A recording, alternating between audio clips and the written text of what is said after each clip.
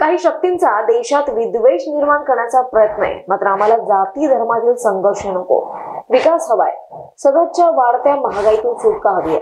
रोजगार हवा असं मत राष्ट्रवादी काँग्रेसचे अध्यक्ष शरद पवार यांनी भोजरीत बोलताना व्यक्त केलंय.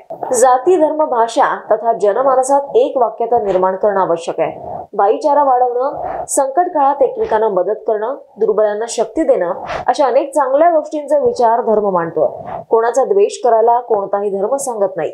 बंधुभाव ठेवा विकास करा हीच धर्माची शिकवण आहे असं शरद पवार यांनी म्हटलंय. Bureau report star Maharashtra news Pimpri.